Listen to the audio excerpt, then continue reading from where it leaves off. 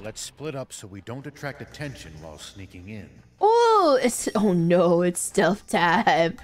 Oh no, how the fuck? How do I get here? Oh shit. Prepare Oh.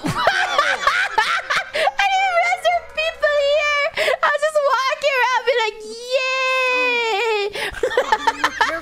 yay! okay, I actually did not realize there were people here, so that was awkward. Okay, I'm, I'm gonna... Oh!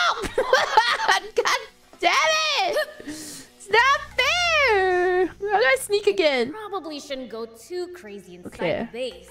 Alright, guys, I don't remember how to sneak here. Alright, Well, so it goes. nice. I carried out 10 stealth attacks, guys. Alright.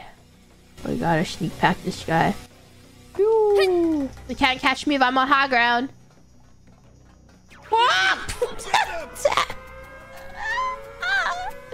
Ah! okay, I'm gonna go high ground. Gotta be more careful. I'm gonna go high ground. I'm gonna go high ground. Alright. There's only one guy in high ground.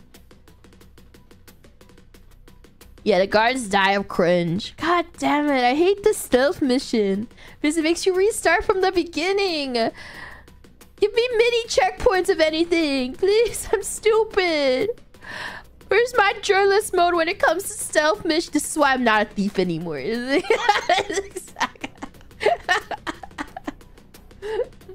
I wish you could like select like difficulties on certain modes. If I had, I would fucking suck it in and take journalist mode for stealth missions.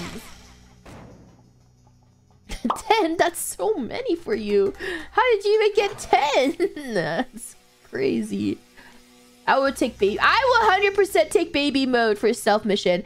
I am not afraid to be who I am.